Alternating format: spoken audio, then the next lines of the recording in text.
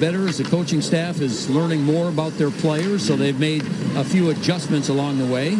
It's a two-on-one developing. Kreider shoots and scores! Oh, what a shot by Chris Kreider! The Rangers take advantage of the odd man rush, and Kreider continues his hot scoring. Yeah, what's they have created here in the early going, the Rangers have. And, and Grubauer, this is just an unbelievable shot. In so quickly, right over the glove. Kreider looked one way and thought this is a perfect angle to take the shot.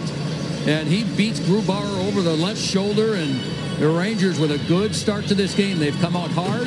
They've created some good scoring opportunities.